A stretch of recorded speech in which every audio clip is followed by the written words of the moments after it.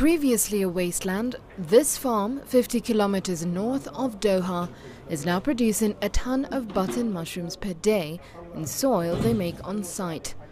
Until now, importing high quality soil was the biggest single cost factor in growing mushrooms in the Gulf state.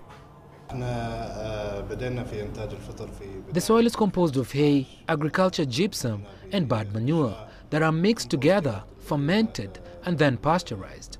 It's then ready to be used in the rooms. Soil preparation takes four weeks, and then we need another four weeks for mushrooms to grow.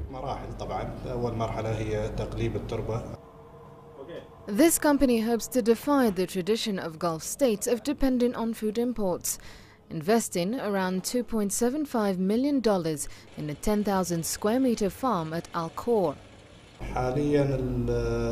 We have a market share of about 30% of the local mushroom market.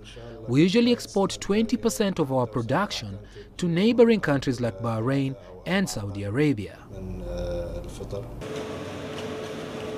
Qatar's climate does not make farming easy, with extreme heat, high soil salinity, and little fresh water. Agriculture production is the most difficult type of food production for various reasons.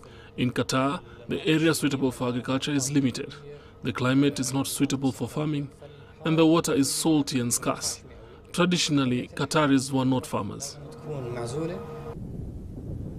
In addition to mushrooms, the company produces pesticide free tomatoes, peppers, cucumber, and zucchini, mostly in greenhouses. The production of these homegrown crops is one way to ensure that the country becomes more self sufficient when it comes to food. Maria Galang, CCTV.